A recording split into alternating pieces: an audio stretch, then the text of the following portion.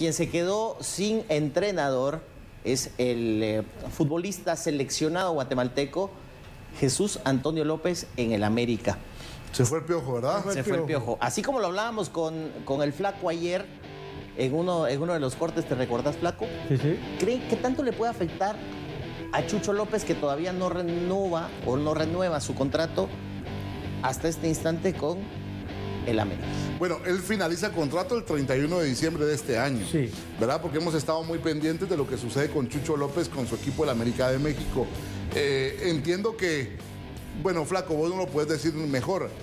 ¿Cuándo empezabas vos a tener por lo menos pláticas de una renovación con, un contrato?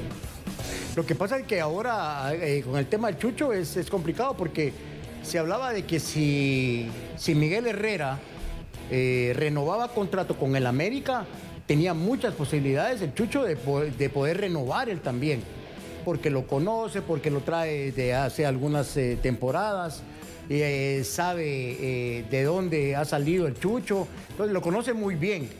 Pero ahora, con el nuevo técnico, no sabemos si realmente va a llenar la retina de, de él, pues, ¿ya? Entonces hay que esperar, hay que esperar a, ver qué dice el nuevo técnico, si entra entre sus planes, porque muchas veces, pues, pues, ahorita puede hacer de que, de que el Chucho esté más fijo todavía con el nuevo técnico, que le guste cómo juega, eh, con, el, con el Piojo ya casi no jugaba de titular, tras casi solo de cambio, entonces ahora con el nuevo técnico puede hacer de que, de que le guste más y que lo ponga hasta de titular, pues. Sí, ojalá que él pueda renovar con este equipo, porque pues al final para la selección guatemalteca es bueno, él, tuvo muchos minutos, o por lo menos tuvo buenos minutos con, con el Piojo y esperemos que con el nuevo técnico se pueda dar de esa forma.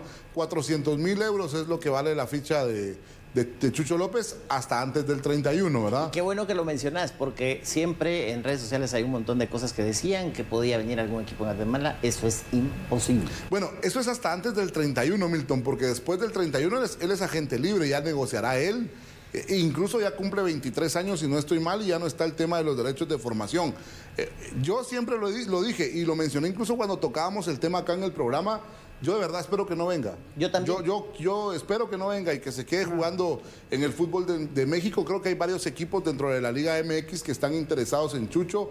Esperemos que pueda renovar con el América. Y si no es con el América, por lo menos con algún equipo de la Liga MX, y que se mantenga en México. Uno de los equipos que había mostrado interés, según lo que uno tiene entendido, o que podría en algún momento levantar la mano si él no continúa con el equipo del América, es el Atlas. Entonces, Creo que con el simple hecho de que él se quede en México, sea cual sea el equipo, sin lugar a dudas es mejor que venir a Guatemala. El representante de Chucho tiene que ser inteligente. Esperar por ahí algunos días para ver dónde arregla el, piojo, porque el piojo seguramente va a ir a otro equipo. ¿Crees que tan rápido? Sí, es que ese es un buen técnico, su carácter eh, eh, por ahí lo ha sacado ya de selección y ahora lo saca del América. Porque no es tanto por el resultado de 3-1 que, que, tuvo el América en el último Es que es un técnico controversial, ¿verdad? Claro, claro, pero es un técnico que cualquier equipo lo quiere tener en el banco. Yo no, yo no sé si se sea tan rápido que Miguel Herrera vaya a tomar un equipo en México. Más que estás hablando que el 31 de diciembre flaco es dentro de qué?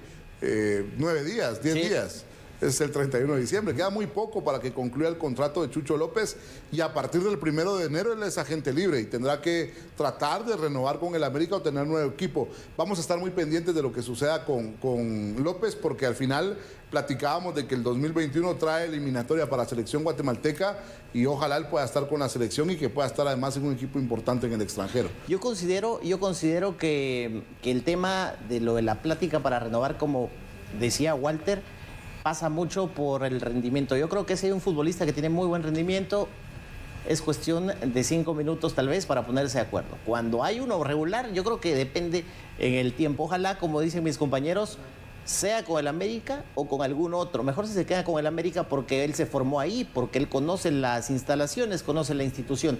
Si se le da la oportunidad de salir, también es una oportunidad para crecer dentro de México. Ojalá que le vaya bien.